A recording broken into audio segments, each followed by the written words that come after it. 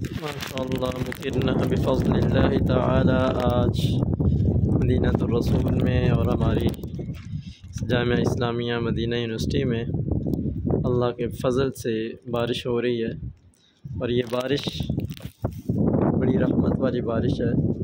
ہلکی ہلکی، نہ زیادہ تیز ہے اور نہ زیادہ نقصان دہ ہے۔ اللہ اکبر۔ ماشاء اللہ مطرنا بفضل اللہ تعالی۔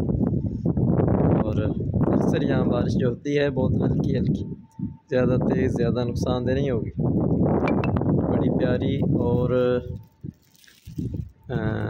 بڑی ہی عمدہ، جیدہ، طیبہ اور من رحمت اللہ الحمد للہ